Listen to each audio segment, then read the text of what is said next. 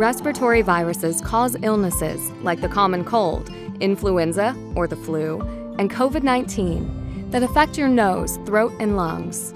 Even though these illnesses are often mild, they can lead to serious health problems, including hospitalization, long term complications, and even death, especially in older adults and people with conditions that increase their risk.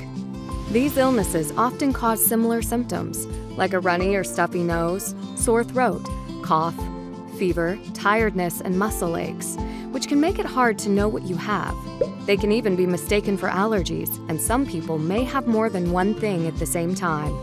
There are some symptoms that are more common with certain illnesses and may help you tell them apart. RSV often causes wheezing or trouble breathing. Loss of taste or smell is more common with COVID 19. The flu often starts suddenly with fever and chills, while a cold tends to come on more slowly. However, not everyone will have the same symptoms, and they can be different from person to person. While most people get better after these infections, they can cause serious complications. Each year, respiratory infections send hundreds of thousands of people to the hospital and cause tens of thousands of deaths from related pneumonia, sepsis, organ failure, heart attack, and more.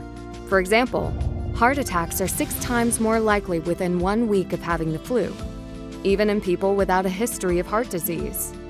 Older adults are more likely to experience complications because our immune systems get weaker as we age. Many of us also have conditions that affect the immune system heart disease, lung disease, or diabetes, which increases the risk of complications.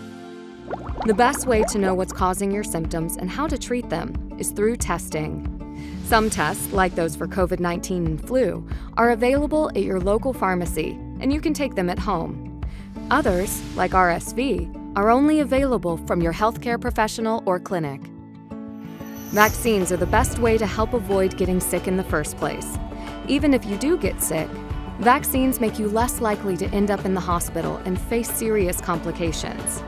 Vaccines are safe and effective, and are rigorously tested to help protect you and the people around you.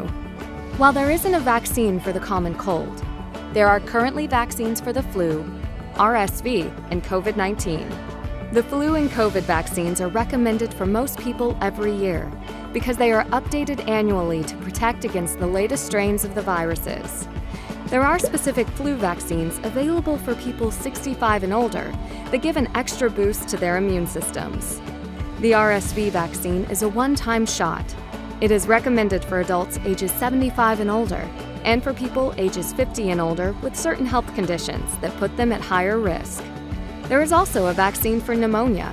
While it won't stop viruses, it can help prevent dangerous bacterial pneumonia that can follow these illnesses. Talk to your doctor about what vaccines you need and when to get them. While these viruses can spread all year long, they tend to peak during the colder months, so the best time to get these vaccines is in the fall if you can. You may be able to get more than one vaccine at the same visit. These viruses spread easily from person to person, especially through coughs, sneezes, and touching shared surfaces. This means it's also important to wash your hands, cover your coughs and sneezes, disinfect surfaces that people frequently touch, and stay home or wear a mask when you're sick.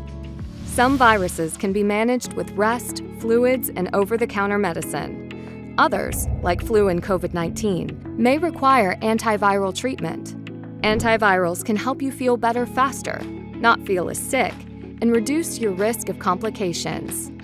These medicines work best when started early, so reach out to a healthcare professional as soon as symptoms start, especially if you are a person at increased risk of developing a more serious infection.